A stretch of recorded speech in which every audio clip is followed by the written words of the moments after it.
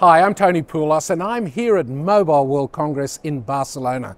Today I have with me Anders Vestergren, who is the VP, Head of Solution Area Network Management at Ericsson. Welcome, Anders. How are you? And also Chris Wright, who is the Chief Technology Officer and Senior Vice President of Global Engineering at Red Hat. Welcome, Chris. Thank you. Gentlemen, the excitement is all around us here at Mobile World Congress, as it always is. But what are you hearing and what's top of mind as you look across 2024? Well, first of all, we're we're back in full force. So the energy level, I think, is is actually back to where it was, you know, pre pre-COVID, which is exciting. It feels really good. Then there's always kind of some thematic topics that that rise to the top. Undeniably, this is the year all conversations are about AI. Uh, so I'm sure we'll get into that at some point later in this conversation. Um, also, there's what what are the ways that we can take what we have been doing in 5G bring those commercially into, into the market. The rollouts are still progressing, um, but where do we turn that into monetization opportunities for, for, for businesses to connect maybe with enterprises and think about edge use cases, you know, smart infrastructure, smart cities. They're you know, things that we've talked about before, but they're getting uh, more real today. So I'd say we're transitioning from where we've been into more commercial rollouts and production environments, which is exciting. So a lot of enthusiasm today. And do you agree with that, Anders? Yeah, I think that for me it's of course natural a lot about 5G. Yes. And then it's a lot about this new deal in AT&T, an open programmable network, the first big. And being open and programmable means that you can start using AI on all different levels. That's the idea anyhow. And I think that is what we are discussing on how to enable. Well, while we're on, while we're on the subject of 5G, uh, Anders, how are you seeing the progress of 5G across the industry? Where is the current focus? I really want to know about that. And where are we in the global deployment of 5G? Because we're a little bit slow in the global deployment. And of course, we must address how does AI play that role in 5G? That's yeah. a lot for you to answer. I think I can, uh, I can at least try. I think the, the speed varies across the globe. Some uh, regions are very much ahead and some are not so much ahead.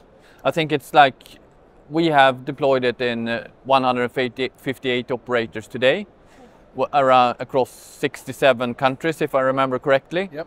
But only 30 of those is true 5G standalone. Yes. And I think that is where the focus is.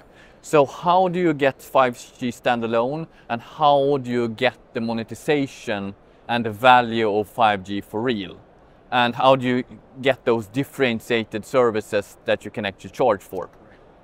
And, and, then I think coming back to how do you make this open and programmable so you can apply AI on all different levels to actually uh, both monetize it in a better way, but also op operationally make it much more efficient than today. But how feasible is that, Chris? Well, with the AI role coming in? I think it's there's a little bit of hype there. Let, us let's, let's be real, um, but there's also some very uh, important reality that that we're bringing in from an infrastructure point of view to support AI workloads. So if you think about uh, a big nationwide network, uh, there's the radio access part, there's the core. Um, there's some definite interest in leveraging some of that infrastructure to actually support AI workloads very directly.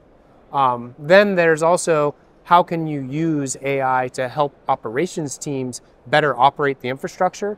And then there's a different view on AI, which is uh, customer uh, engagement. How are you working with customers? So, so many different ways in which it could be used. Some are already there. Think about chatbots, they already exist. Um, some are under development. How, how can you do root cause analysis uh, at, with AI as a productivity tool for operations teams? That's a, still a work in progress. And then how could you leverage that infrastructure to build, um, say, national infrastructure supporting AI workloads, both training and inference? That's kind of a future view. Gentlemen, when we were here at Mobile World Congress last year, we heard all about work in developing. But this year, we have real experience, and you have real experience in designing, delivering, and managing 5G, 5G core rollouts for global telco providers. Now, I know that you are not able to release company names, but let's talk about the live deployments, the ones you just briefly mentioned, uh, and, the ones you've already delivered, and some of the lessons that have been learned, and some of the successes that you have already measured. Mm. Anders, would you like to kick off? Yeah, I think this is a very exciting. As we said, we have 30 uh, customers live on 5G standalone. Yep. I think five of those are on, on Red Hat infrastructure, and they are growing by the day. Uh, I think what we have learned now, we have the technology in place, we have the architecture in place, we have the future-proof architecture in place. Now it's about how we use that in cloud operations and how we really reap the benefit from what we have done, both from cloud operational point of view, but also the ability to add things like AI to, for intent-based networking, and to add this open and programmable touch to it, uh, to it as well. Chris, from your side? Well, part of the maturation of the industry is just getting those the, the real life experience.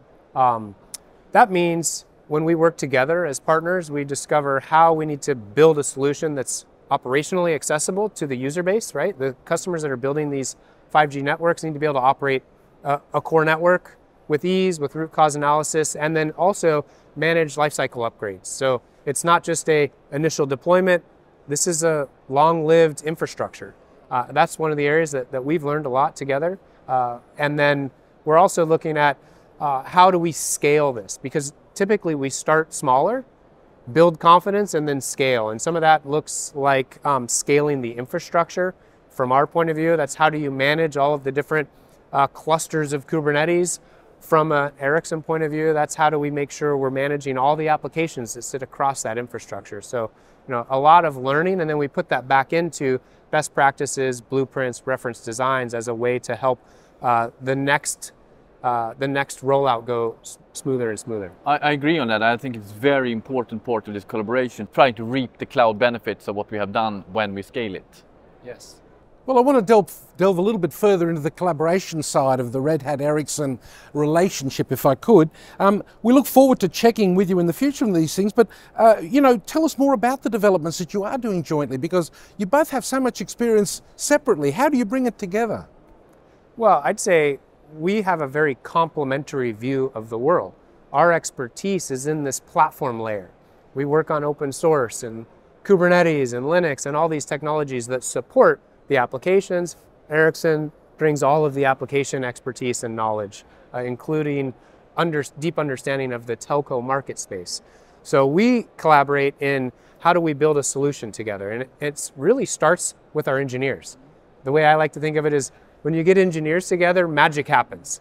And our engineers, you know, roll You're talking like a CTO now. Well, it's, it, it's true. It, when you get when you get engineers together, um, we're not about the the complications of uh, what does a commercial relationship look like. We're just solving technical problems. And uh, we put our engineers directly together and we try to share understanding. So we, we bring to Ericsson uh, a pre-GA'd version of, of our platform so they can start doing validation before it ever gets uh, into commercial access. And they've helped us understand workloads that we can do better testing before we bring them a platform. So it's a very deep uh, engineering level relationship that produces a better outcome for the customer. I agree on this, uh, and I think I'm very grateful for this collaboration. And I think now we have, with an engineering approach, uh, we have managed to solve how we can put real telco workloads onto a cloud infrastructure, yeah. because it's not always trivial to do it across the core, OSS, BSS, yeah. and also Cloud RAN, which are pretty unique and pretty hard requirements. Yes. And I'm really looking forward to taking it to the next step and really understand how you operate this and reap the full benefits of using cloud infrastructure. There's a lot of talk also about sustainability in the industry. How is your relationship going to help in sustainability and what will you be offering your customers? Well, well, we've started off doing work together to lower the power consumption of the radio access network. And if you look globally, the power footprint of networks is a meaningful percentage of all uh, power consumption. So we really need to help bring that power consumption down as we roll out into more dense network uh, provisioning with, with 5G. Also, the cost of power has gone up, and then the concerns around climate change are, are so real for every region of the globe. So this is a really important topic, and when you add a combination of how an application uses a platform and how we can leverage key accelerators in hardware from the platform, we can really help reduce the power consumption. I agree on that, and I think that I mean this is a very important question for all our customers from different angles. And I think what we are seeing this, we're working on with you on this, on but we are working on every level of the network to get the power consumption down to more efficient applications, better usage of the platform, uh, even AI at different layers, and AI even on top of it to have it truly programmable on a larger level on how to turn things off, make things sleep when they're not in use. Gentlemen, it's so great to talk to you. I'm going to catch up with you next year, I hope, to see what the results are of this relationship. Good luck with it. Thank you. Thank you. Thank you.